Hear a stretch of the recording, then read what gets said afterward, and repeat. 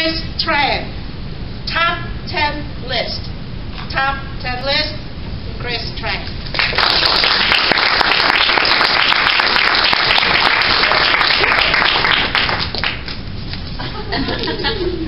Good afternoon, Madam Toastmaster, Toastmasters, and most welcome guests. I'm sure most of you know who David Letterman is, and you know that over the years he has had a pretty successful run with his top 10 lists, and he has covered every topic imaginable on his top 10 list. But I can personally guarantee that you have never seen my top 10 list on David Letterman show or any other talk show for that matter. It is my intention to change that starting today. The title of my top 10 list is The Benefits of Being Boobless. That's right, ladies and gentlemen. You heard it here first. There are indeed benefits to being boobless, benefits that no plastic surgeon in his or her right mind will tell you about, but I will. Four years ago, I was diagnosed with breast cancer, and on December 16th, 2011, I kissed my boobs goodbye.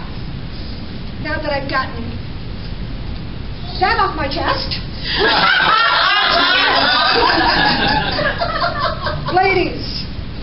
Ladies, you know how great it feels to be able to remove your bra when you come home from work or before you go to bed?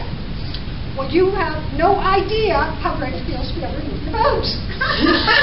In fact, there are days when I don't bother to put mine on. 90 degrees outside, I'm not dealing with boob sweat anymore. Number nine, let's just state the obvious. No more mammograms. Mammos to gram, but I do see my doctor once a year for a lymph node exam.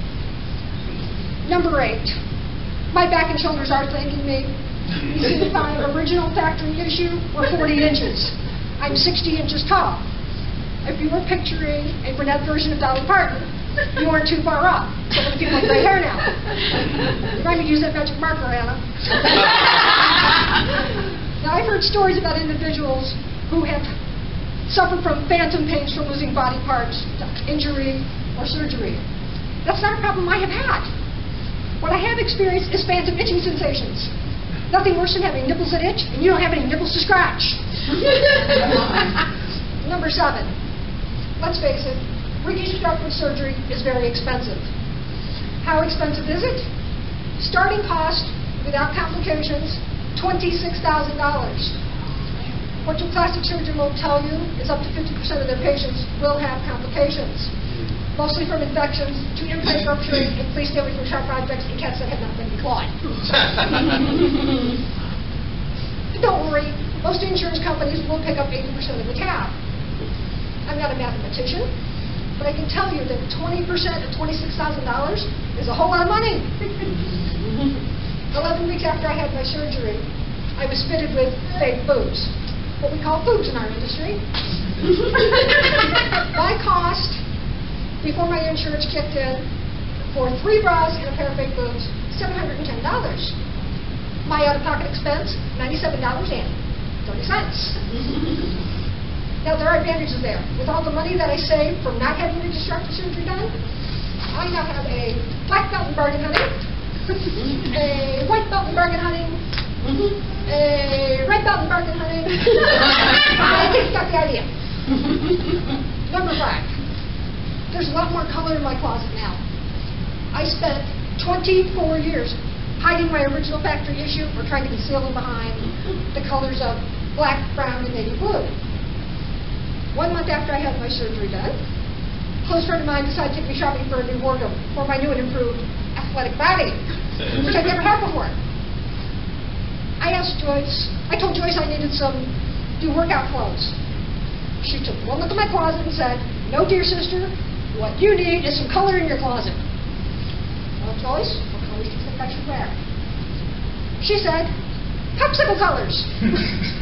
if you happen to see a middle-aged woman in the middle of a thrift store mumbling something about popsicle colors, that would be me.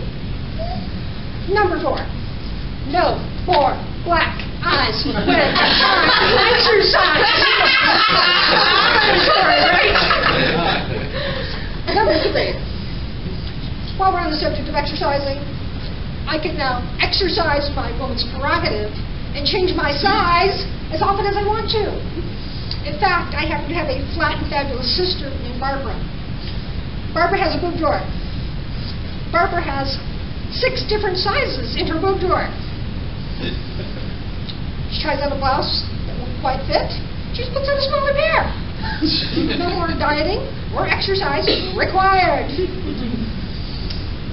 Number two, Halloween is right around the corner, and it is on the fast track to becoming my favorite holiday. Because I'm about the same size as your average middle-aged 12-year-old girl. For 10 years, prior to my surgery, I used to dress up as a witch. Same black costume, all in black. That costume was getting old in more ways than one. In the last three years, I have gone on to dress up as a pirate. Once again, all in black, but hey, it doesn't like having the sex shoes when I have the operation, right? the Red Riding Hood, and the Easter Bunny. In case you haven't noticed, I am very happy to be here. and number one, I am now a lean, mean, hula hooping machine. I have been hula hooping since I was 18 years old. And I could easily do this for an hour. But I could, yeah, let's just, I could easily do this for an hour because there's nothing to get in the way. but in the interest of time, we're going to wrap things up. Ladies, gentlemen, losing my breast was not the worst thing that ever happened to me.